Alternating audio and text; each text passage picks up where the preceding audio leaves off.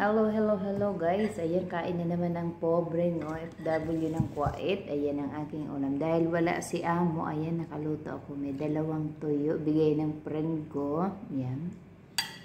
Nilagyan ko lang ng kamatis tsaka sili. Ayan, ginisa ko sa bawang, kamatis, sibuyas. Babanat ng kain. Kasi walang makakaamoy ng tuyo na amo, kundi ako lang. Kasi 'di ba? Ayaw na ayaw nilang makaamoy ng tuyo. Kaya ayun, niluto ko to dahil wala sila. Tapos ako lang dito mag-isa. Sinama yung kasama kong dalawa. Kaya ayun. Banat. Yan. Tapos may kanin kang mainit-init. Ayan. Bagong saing, nagsaing ako ng kanin. Naamoy ko yung tuyo eh. O, dalawang piraso na lang, di ba?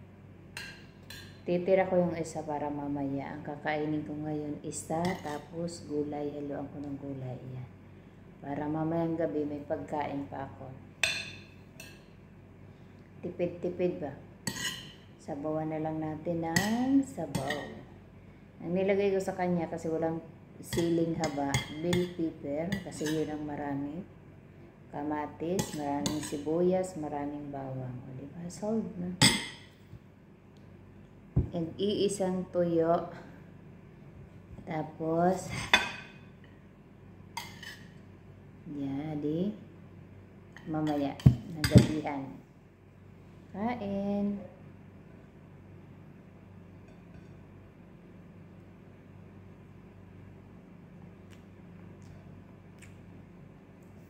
Masarap kamay, ayan, kamay.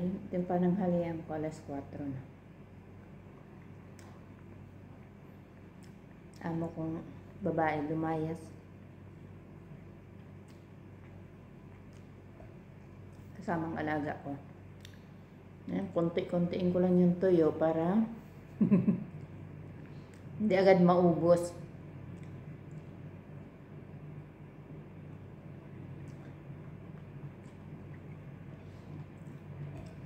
Hindi ko na siya nainasinan para hindi siya maalat. Nilagyan ko lang siya ng North Chicken.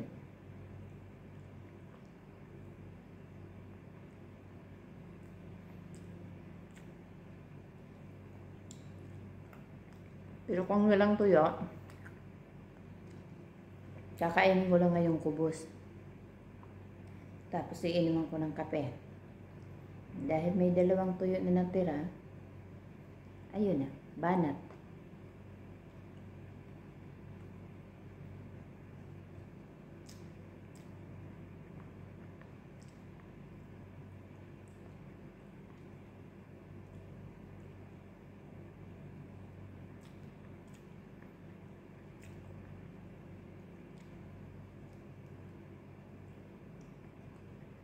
Sarap ng tuyo galing Pinas.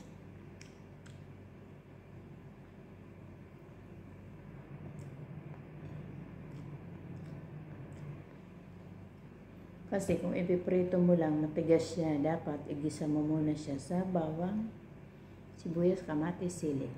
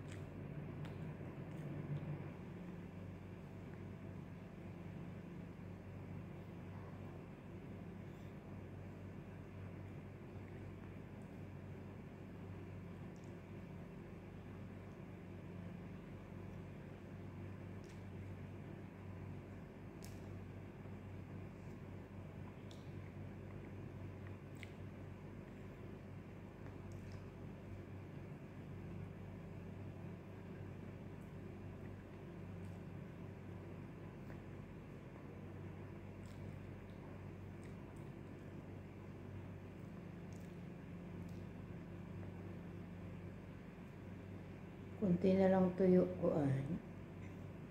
Ito ay binigay ng aking friend. Ayan. Galing Pinas.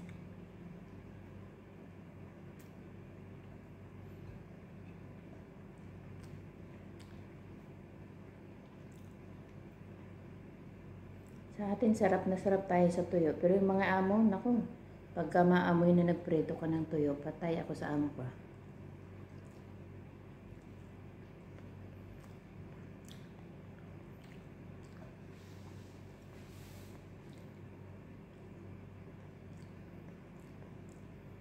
Kontrang-kontra nila yung amoy ng tuyo, galing Pinas.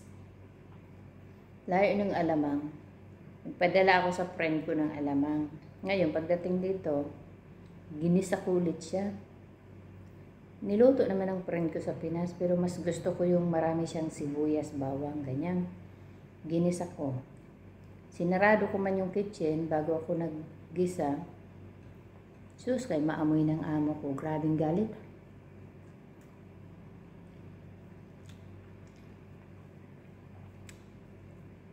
Ayun, ginawa niya. Sus, nagpasindi ng paham. Nagbukor, nagpausok lahat ng bahay, pinausukan. Pinagalitan kami. Kung ano daw yung niluto namin. Sabi ko, isdang maliliit galing Pinas.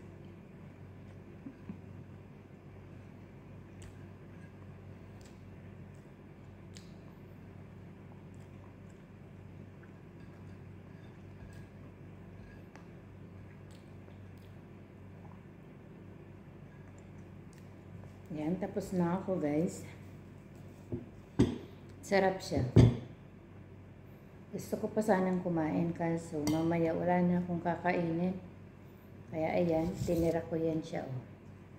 Isang tuyo na may konting gulay. Diba?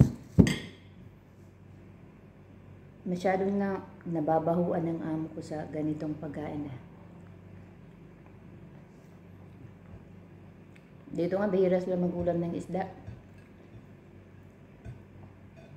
Siguro sa sa anim na buwan, dalawang beses lang. Sa anim na buwan, eh, ang dami-dami naming stock dyan na isda sa freezer. Tagal na yan.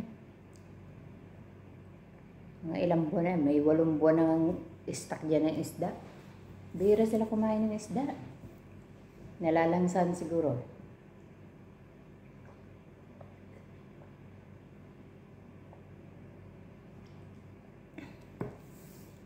Gusto nila laging laham, laham, laham, ganyan. Ganyan mga amo ko eh. Tapos manok, manok, ganyan sila. Pero pag isda, mahina sila. Nakain lang dito is ang matanda palagi. Magkain man ng isda, konti. Yan, kung may natitira sa amin. Tapos pag nagpapaluto sila, no, bakit kaya pinapatanggal yung ulo? Kaya pagka nag-ulam dito ng isda, yung ulo, pinapaksiw namin ba? Paksiw siya sa maraming kamatis. Tapos hindi mo siya tutubigan. Suka lang. Masarap siya. Tapos maraming luya, maraming sangkap, maraming paminta, laurel. Masarap siya. Hindi ko alam sa amo ko mga art. Excuse me. Palibasa mapera. Kung anong gusto niya ulam. Ang dami dyan. Minsan niya pinapamigay na ni ate. Pagka, nung nandito ang maniho namin, ipabigay sa maniho dun sa labas. Kasi yung isda, minsan, naabutan na ng siyam na buwan dyan sa freezer. Sa sobrang tagal. Mahahabang isda pa naman. Masyado kasing malansa ng isda dito sa kanila. Iba sa isda dyan sa Pinas. Yan, pagka nakapagawa ng isda, siya ang amo ko, Grabe na namang pausok niyan. Ewan ko. At kontrang-kontra nila yung mga isda. Ito, kaya nakaluto ako nito dahil wala sila. Pero kung nandito, ang lakas ng pang-amoy. Magsabi naman yan, ano yung niluluto mo sa baba? Well, ganyan siya. Kaya minsan, kasi yung kitchen naman namin is nandito sa baba, minsan kung nandito sila, nga, sila amo, tapos may nagbigay na friend ko ng tuyo, yung ginagawa ko, pinapakulo ko lang yung mantika dito sa loob. Pagka kumulo na yung mantika, dadalhin ko siya dyan sa labas. Kasi yan, labas na yan. ilalagay ko siya sa labas yung kaldero na may mantika na kumukulo. Saka ko ilulubog ang tuyo. Ganyan yung technique namin dito para makakain minsan ng tuyo. Kaya minsan, pag may nauwi, minsan sabihin ko, ipreto na sa Pinas, ganyan, tapos ibalot lang, balot ng mabuting plastic. Para pagdating dito, minsan ibabaw mo na lang sa mainit na kanin, okay na. Ganyan sila, ganyan. Ka, ano ang pang-amoy ng amo ko. Lahat man siguro mga amo dito, ayaw talaga sa amoy ng tuyo. Tuyo natin. Malakas pang amoy nila dyan. Ewan ko sa kanila. Sabi niya, sabi niya, ano ba yung pagkain niyo? Bakit ganyan ang amoy? Tapos sabihin niya, dami, dami-daming manok dyan, gulay, magluto kayo. O kaya isarado lahat ng pito. Kahit isarado pati na nalusot siya. Kasi yung aming yun, second floor, nandiyan na sila lahat. Diyan sila nagtatambay. Nandiyan yung mga kwarto nila. Pinakang kusina namin dito. First floor. Pero ano naman, wala na silang nagagawa pagka ano na eh, naluto na namin. Magalit man, maluto, naluto na. Pero minsan sabi ng iba, magpakulo daw ng downy.